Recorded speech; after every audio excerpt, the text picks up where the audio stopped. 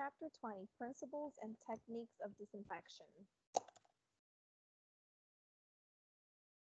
During patient treatment, surfaces in equipment and treatment rooms are likely to become contaminated with saliva or by aerosol containing blood, saliva, or both. Laboratory studies have shown that microorganisms may survive on environmental surfaces for varying periods. Assume that if a surface has had contact with saliva, blood, or other potentially infectious materials, it contains live microorganisms. Environmental Infection Control. The Center for Disease Control and Prevention, the CDC, Guidelines for Infection Control in Dental Healthcare Settings, 2003, divide environmental surfaces into clinical contact surfaces and housekeeping surfaces. Housekeeping surfaces include floors, walls, and sinks. Because they have a much lower risk of disease transmission, cleaning and decontamination are not as rigorous as that for clinical areas and patient treatment rooms, uh, treatment items, which means that basically you're not going to be cleaning the floor, the walls, or the sinks as much. The sinks maybe because um, sometimes you do use the sinks a lot, especially the doctor. They'll they'll um, polish a crown, or if you're re-cementing a crown that came off, um, they have to clean out the old cement out of the crown. So sometimes they'll do it over the sink with water, etc. So sometimes the sink will be cleaned much more frequently than would the floors or the walls. Cleaning and disinfecting consideration. Um, the amount of direct patient contact, the type and frequency of hand contact, the potential amount of contamination by aerosol and spray, and other sources of microorganisms, for example, dust, soil, and water. So that includes the counters, the drawer handles, the cabinet handles, etc. Anything that you um, may come di- in direct contact with, how often it's touched, and um, of course the potential of aerosol. So if it's close to the hand pieces or it's close to the patient's head where everybody's working, more than likely it's going to be um, contaminated by aerosol and spray. clinical contact surfaces, they can be directly contaminated either by spray or spatter generated during dental procedures or by contact with dental professionals' gloved hands. Um, current infection control guidelines of the Office Safety and Asepsis Procedures Research Foundation, also known as OSAP, recommend that clinical surfaces be classified and maintained under three categories. So the three categories are touch, transfer, splash, spatter, and droplet. Touch surfaces are directly touched and contaminated during treatment procedures, so this includes the handles of the dental lights, the controls of the dental units, chair switches, chairside computers, pens, telephones, containers of dental materials, and drawer handles. Transfer surfaces are not directly touched by uh, touched, but often are touched with contaminated instruments this include instrument trays and handpiece holders. Splash, spatter, and droplet surfaces do not actually come in contact with members of the dental team or the contaminated instruments or supplies. The countertops are a major example. You're not really touching them, but there's uh, spatter and there's splash and there's droplets that fall onto these surfaces, even if you cannot see them. Surface contamination there are two methods of dealing with surface contaminations. So one is surface barriers by using barriers, okay, and pre-cleaning and disinfecting surfaces between the patients, and this is an absolute must. So surface barriers. Uh, there's a wide variety of surface barriers available today. They should be resistant to fluids to keep microorganisms in saliva, blood, and other liquids from soaking through to the surface and underneath. Some plastic bags are designed in the shape of items such as the dental chair, the air water syringe, hoses, pens, and light handles. Plastic barrier tape is frequently used to protect smooth surfaces, for example, touch pads on equipment, electrical switches, on chairs, and x-ray equipment. Aluminum foil can also be used because it is easily formed around any shape. I mean, I've never seen this, but Apparently, it's a thing. So single-use disposable items. That means single-use, just like paper plates, paper cups, and uh, plastic cutlery. It's single-use. You don't wash them, although you can. Um, you don't wash them. They're supposed to use, be used once and then discarded. So they're used on only one patient and then discarded. So they help reduce the chance for patient-to-patient contamination. Single-use items are often made of plastic or less expensive metals, and they are not intended to withstand cleaning, disinfection, or sterilization. They're just meant to be used once and thrown out. Never process, which means clean, disinfect, or sterilize single-use items for use on another patient. And like they said, most of these things um, are usually going to be plastic, so you don't disinfect or you don't sterilize. If you sterilize and it's by submersion, um, sometimes the uh, the liquids that you use, the chemicals that you will use, um, it will basically disintegrate the plastic. Um, so it, it's not meant to disinfect or sterilize. It's just one use. In most areas, contaminated disposable items that are not sharps and are not soaked or caked with blood may be discarded with the regular office trash. So uh, the suction tips, the HVE for the high volume evacuation, um, that can be discarded inside the regular trash. And the saliva ejectors, which are like the little uh, pieces that are bendable that they put in your mouth and they tell you to close your lips around it, that stuff can be discarded in with the regular trash unless they were part of an extraction or a procedure that had a lot, a lot of blood, then that stuff needs to be put in a red bag and discarded in the um, biohazard container. There is no need to discard these items in a medical waste or a biohazard container. Like I said, only if it's saliva and debris. No, no um, massive amounts of blood. State and local regulations may vary, so always consult the regulatory agency for your area.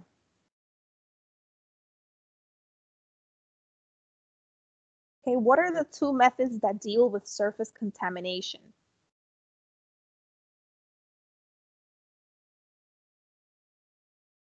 Those are surface barriers and surface disinfection. Pre-cleaning and disinfection. Although no cases of cross-infection have been linked to dental treatment room surfaces, cleaning and disinfection of these surfaces are most important components of an effective infection control program. In addition, the OSHA bloodborne pathogen standard requires that contaminated work surfaces be disinfected between patients' visits. Um, this is a must. You, you shouldn't skip this. Even if it's um, just a regular checkup exam where there's not a lot of saliva, not a lot of blood. The counters should be wiped off. The chairs should be wiped off after the patient leaves, and barriers um, need to be changed if there's any barriers that were put on to begin with. Pre-cleaning. Pre-cleaning means to clean before disinfecting. So all contaminated surfaces must be pre-cleaned before they can be disinfected. Even if there is no visible blood on the surface, it must be pre-cleaned because even a thin layer of saliva on the surface can decrease the effectiveness of the disinfectant. Pre-cleaning reduces the number of microbes and removes blood and saliva, also called bioburden. Most effective when used on contaminated surfaces that are smooth and easily accessible for cleaning. Always wear utility gloves, mask, protective eyewear, and protective clothing when pre-cleaning and disinfecting because you don't know the chemicals that they're going to be using at the office where you are, so it's better to be safe. Surfaces that are irregular or textured are difficult or impossible to clean or to disinfect. Regular soap and water may be used to pre-clean, but it is more efficient to select a disinfectant that can be used to clean as well as disinfect.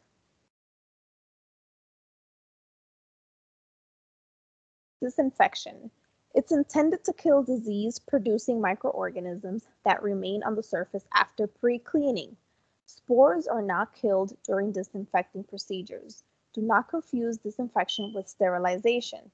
Sterilization is a process in which all forms of life are destroyed. And this includes when you sterilize the when you sterilize the instruments in the autoclave, that's killing um, all types of bacteria that may be on those instruments because it's at a very high temperature and with steam. Um, there's also sterilization for stuff that cannot be put in the autoclave. There's also sterilization in a bath, what they call a bath, where you put a, a special liquid in it. You submit the um, instruments or the whatever it is that cannot be put in the autoclave, but you need to clean and it's reusable. You put it in there and you let that sit for however long it says on the bottle. Sometimes it's uh, six hours, sometimes a short period of time. That's why you need to read the instructions so you know how long it can sit in that bath. Chemicals that are applied to inanimate surfaces, for example, uh, countertops and dental equipment. Antiseptics are antimicrobial agents that are applied to living tissue. Disinfectants and antiseptics should never be used interchangeably because tissue toxic toxicity and damage to equipment can result, which means if it's an antiseptic, is usually meant for skin, for tissue. Um, this a disinfectant is usually meant for um, non-living stuff like inanimate objects or surfaces. Disinfectants are chemicals that destroy or inactivate most species of pathogenic, disease-causing microorganisms. In dentistry, only those products that are EPA registered hospital disinfectants with tuberculos, tuberculocidal kills the tuberculosis bacteria claims should be used to disinfect dental treatment areas. Mycobacterium tuberculosis is highly resistant to disinfectants, and if a disinfectant will inactivate M. tuberculosis, it will inactivate inactivate the less resistant microbial families, for example, bacteria, viruses, and most fungi. So if something says that it can kill the, um, the bacteria of tuberculosis, it's pretty good. It's pretty much good to kill any other type of uh, viruses or bacteria. Ideal surface disinfectant. An ideal surface disinfectant would rapidly kill a broad spectrum of bacteria, have residual activity and minimal toxicity, not damage surfaces to be treated, be odorless and inexpensive, and work on surfaces with remaining bioburden, and it should be uh, simple to use. No single disinfectant product on the market today meets all these criteria. So when selecting a surface disinfectant, you must carefully consider the advantages and disadvantages of various products. Disinfectant precautions. Follow the manufacturer's recommendations for mixing and diluting, because some of these things will come in gallons and they will be concentrated. So it will tell you the ratio of water that you have to use to dilute. That's why you need to read the um, the bottle. Um, the application technique, the shelf life, and shelf life means how long is will it be good if you buy a case of it and you don't really use it um, too quickly. How long would it last in a um, on a shelf or in a closet or in a storage closet or etc. The activated use life and all safety warnings.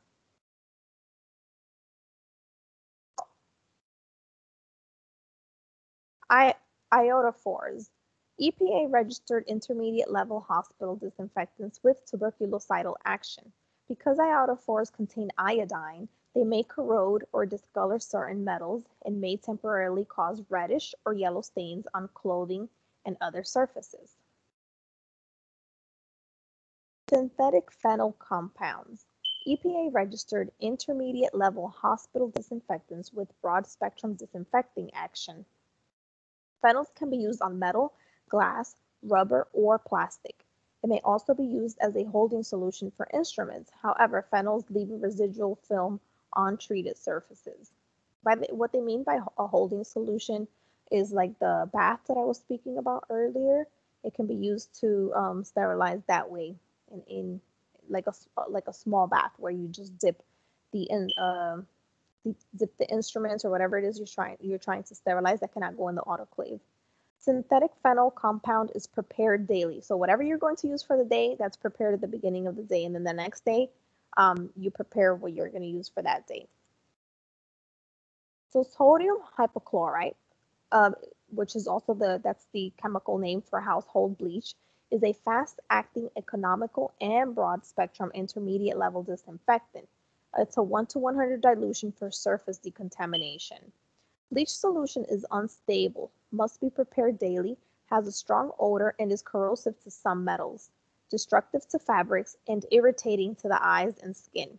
It may eventually cause plastic chairs and covers to crack. This is why you don't really, the offices don't really use bleach uh, for disinfecting or cleaning because it leaves a very strong smell even when diluted. Um, so sodium hypochlorite, um, learn this name and memorize it because remember one of the uh, previous lessons I said that um, when I was talking about safety goggles that I said how the bleach fell in my eyes when we were doing a root canal procedure. Um, most of the time, the dentist will not say, um, prepare me some bleach syringes because that alarms the patient. The patient's going to be like, You're using bleach in my mouth? No. So, what the dentist will say is, um, prepare sodium hypochlorite, and then you're going to know that it's uh, diluted bleach, and you're going to put them in the disposable syringes to irrigate the nerve during a root canal procedure. So, remember that sodium hypochlorite. Alcohol. Alcohols are not effective in the presence of blood and saliva. They evaporate quickly and are damaging, damaging to certain materials such as plastics and vinyl. It's not recommended as a surface disinfectant by several agencies. So before, this is what was used to disinfect alcohol because there was really nothing else. However, it's not ideal because um, alcohol does not stay on the surface for a really long time. If you ever wipe something with alcohol, you can see it evaporating almost immediately. So in order for something to be disinfected or sterilized with alcohol, it actually has to sit for a while. And alcohol is not, you're not able to do that with alcohol. That's why it's not used for that. So immersion disinfectants. Some chemicals on the market can be used for sterilization or high level disinfection. When used as sterilants, they destroy all microbial life, including bacteri bacterial endospores. Depending on the type, time for sterilization can range from 6 hours to 30 hours, and that's what I was talking about. Um, there's disinfectants that you use like in a small bath and then you submerge either your instruments or whatever you're trying to clean that cannot go in the autoclave. And that's why you have to read the bottle because some disinfectants work in six hours, some work in 12 hours, some require 30 hours for actually for it to actually um, sterilize whatever you put in there. At weaker dilutions or with shorter contact time, these chemicals provide high level disinfect disinfection inactivating all microorganisms except endospores. Most of these chemicals are toxic and can irritate the eyes, the skin, and the lungs. PPE must be worn when these chemicals are used, and PPE, PPE is just protective, uh, personal protective equipment. So your goggles, your mask, gloves, etc. Glutaraldehyde is classified as a high-level disinfectant sterilant. It can also be used as a liquid sterilant when immersion time is greatly increased. It can be used uh, like in a bath, but it depends how many, however long you need to leave it in there for in order to be uh, considered uh, sterilant. Useful for plastics and other items that cannot withstand heat sterilization. So it's very toxic. It should be handled carefully to avoid the fumes and glutaraldehyde treated instruments should never be used on patients without first being thoroughly rinsed with water. So after those instruments or whatever you're putting in that bath, after it's done uh, sterilizing, you need to properly uh, rinse those instruments out. You just cannot take them, dry them, and use them directly in the mouth. Prolonged contact of certain types of instruments with glutaraldehyde solutions can lead to discoloration and corrosion of the instrument surfaces and cutting edges. Chlorine dioxide. Chlorine dioxide is an effective rapid environmental surface disinfectant. It takes three minutes or chemical sterilant if you use it for, for six hours. Chlorine dioxide does not readily penetrate organic debris and must be used with a separate cleaner. Chlorine di dioxide must be prepared fresh daily. It must be used with good ventilation and it is corrosive to aluminum containers.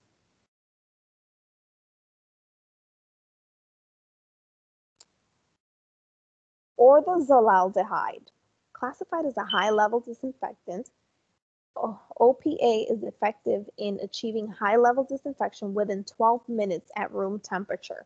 It's more expensive than glucuronidase, sorry, but may be a good alternative for individuals with a sensitivity to glucuronidase. It has very little odor and does not require activation or mixing. Ortho-phthalaldehyde disadvantages. Costly, it can be used only half as long as most glucuronidase in dentistry. It may stain the skin and fabrics. The plastics turn a blue-green color where proteins have never uh, have not been removed and should require more than 30 hours to secure would require more than 30 hours to secure sterilization. So it's more expensive and it takes a lot longer for something to be sterilized using this chemical.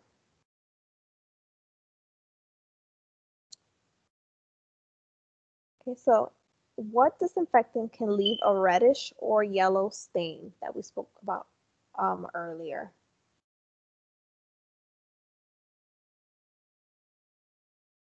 Okay, the answer to that is iodophores. They can leave a reddish or, stain, or yellow stain because they contain iodine. Um, also, what is a more common term for sodium hypochlorite? Remember what I said? Remember the word sodium hypochlorite? Okay, it's also a word for household bleach. So the evacuator system. The high volume evacuation, which also is also known as HVE, reduces the risk of saliva escaping from the patient's mouth. Regular cleanings help tubes and pipes flow easier. They clean by flushing with detergent or water. It's like with a bucket at the end of the day. Periodically clean the traps. Housekeeping surfaces. No scientific evidence showing that housekeeping surfaces, for example, floors, walls, and sinks, pose a risk for disease transmission in dental health care settings. Majority of housekeeping surfaces need to be cleaned only with a detergent and water or an EPA registered hospital disinfectant or detergent. However, used solutions of detergents or disinfectants, especially if prepared in dirty containers, stored for long periods of time, or prepared incorrectly, may be reservoirs for microorganisms. Make fresh cleaning solution each day, discard any remaining solution, and let the container dry to minimize bacterial contamination. Carpeting and cloth furnishings. So carpeting is more difficult to clean than is non-porous hard surface flooring, and it cannot be reli reliably disinfected, especially after contamination with blood and other body substances. Studies have documented the presence of bacteria and fungi in carpeting. Cloth furnishings pose similar contamination risks in areas where direct patient care is performed and where contaminated materials are handled. The CDC guideline is avoid using carpeting and cloth upholstered furnishings in dental operatories, laboratories, and instrument processing areas. So that's why uh, the, the patient chair, the operator chair, which is the doctor's chair, and the dental assisting chair, they have like a synthetic leather material because it's much easier to wipe. If that if that was actually a, a fabric or any other type of material, that would harbor so much bacteria and blood and saliva and stuff.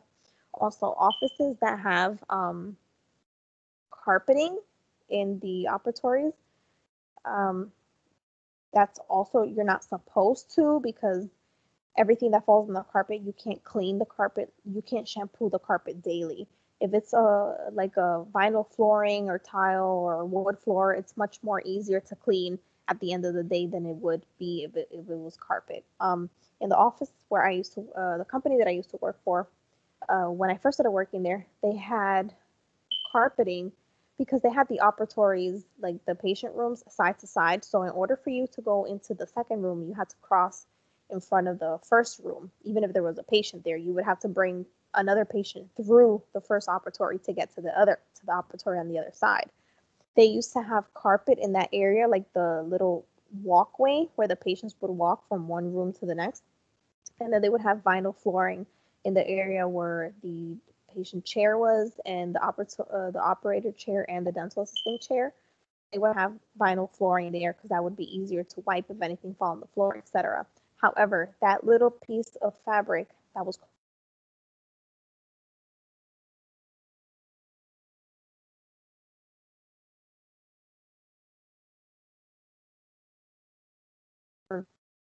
not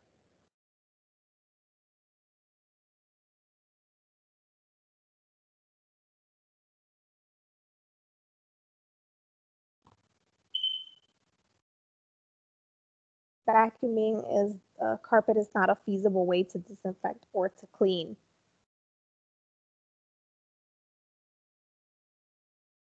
Spills of blood and body substances. So the majority of blood contamination in dentistry results from spatter and the use of rotary or ultrasonic instruments. No scientific evidence shows that HIV, HPV, or HCV has been transmitted from a housekeeping surface. OSHA requires that blood spills and other body fluids be removed and the surfaces disinfected. The CDC guideline clean spills of blood or other potentially infectious materials and decontaminate the surface with an EPA registered hospital disinfectant with low level to intermediate activity, depending on the size of the spill and the surface porosity. So greener infection control. Protecting the environment has become an important part of our personal lives and in our homes. That responsibility extends to the provision of dental care. Many of the infection control products and procedures we must use to protect our patients and ourselves have a negative impact on the environment. By altering a process or a material, it is possible, possible to minimize a potentially negative impact on the environment. For example, using disinfectant wipes instead of spraying disinfectants could reduce the amount of chemicals in the air. This is very true. That's why a lot of places now have the, the CaviWipes, the Cavicide wipes, um, because it's much easier to clean stuff and, and to kind of disinfect stuff than it would if you were spraying. Uh, going greener requires thoughtful planning, research, and experimentation. Paper. Digital patient records could have a significant impact on the amount of paper that is used. Radiology. Digital radiology is rapidly becoming state of the art. So no longer do you have to use the, the films, and those films have like a little aluminum paper attached to them, which you have to discard um, outside. You can't throw it in the regular trash. So if you are using digital radio- radiology, um, it, it eliminates that whole waste personal protective attire, so protective barriers present a challenge in the attempt to go greener. Some are recyclable. Surface barriers and pre-cleaning disinfection involves the use of chemical and PPE.